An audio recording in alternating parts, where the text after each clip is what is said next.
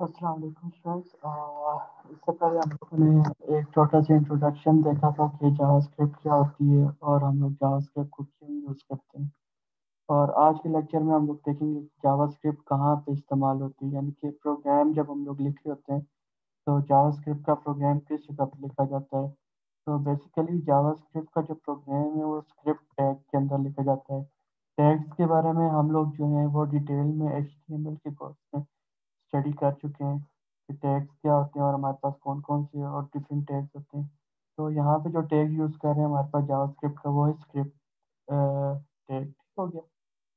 तो ये जो स्क्रिप्ट टैग होता है ना, ये आप हेडर हेड में भी डाल सकते हो बॉडी में भी डाल सकते हो, ठीक है? यहाँ पे कोई रिस्ट्रिक्शन वगैरह आपको नहीं आती। तो चलते हैं अपने एडिटर की तरफ़ और देखते हैं कि कैसे हम लोग जावास्क्रिप्ट का टैग ऐड कर सकते हैं अपने हेडर में या फिर अपने बॉडी के अंदर।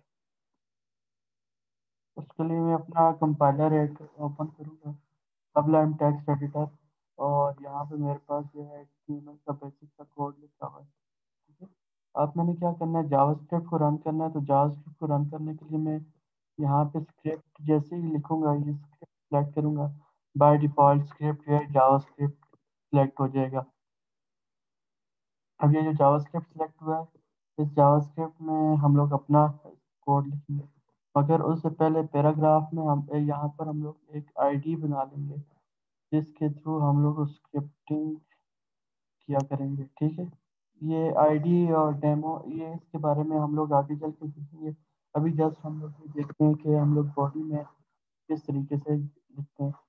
तो अब हम लोग ने ये चेक करना है कि हम लोगों ने जो स्क्रिप्ट लिखा है, ये वर्क कर रहा है या नहीं कर रहा उसके लिए मैं एक प्रिंट करवाता हूँ, कोई भी चीज़।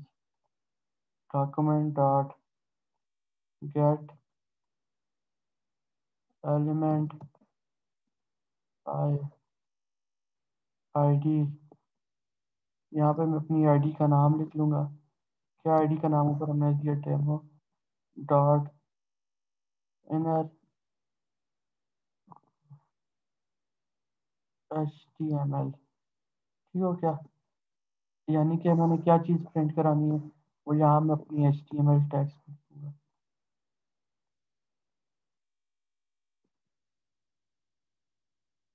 welcome to JavaScript मैं ये कोड प्रिंट करा रहा हूँ। तो हम लोग क्या लिखेंगे यहाँ पे? Welcome to JavaScript. ठीक हो गया। इसको मैंने सेव कर दिया। सेव करने के बाद मैं इसको अपने ब्राउज़र में ओपन करता हूँ। तो जब मैंने ब्राउज़र में ओपन किया तो यहाँ पे हमारे पास क्या हो रहा है? ये शो हो रहा है, वेलकम टू जावास्क्रिप्ट। इसका मतलब ये है कि हमारा जावास्क्रिप्ट का कोड क्या हो गया? रन हो गया है। इसके बारे में हम लोग अब नेक्स्ट वीडियो में चेक करेंगे कि आउटपुट पे प्रिंट कराने के लिए हमारे पास कौन कौन सी कमांड होती है और उन कमांड को वन बाय वन रन करेंगे। तो आज के लिए वीडियो इतना ही। उम्मीद है कि आपको इस जावास्क्रिप्ट की बेसिक्स के बारे में पता चल गया होगा। थैंक यू सो मच आपके टाइम का अल्लाह हाफिज़।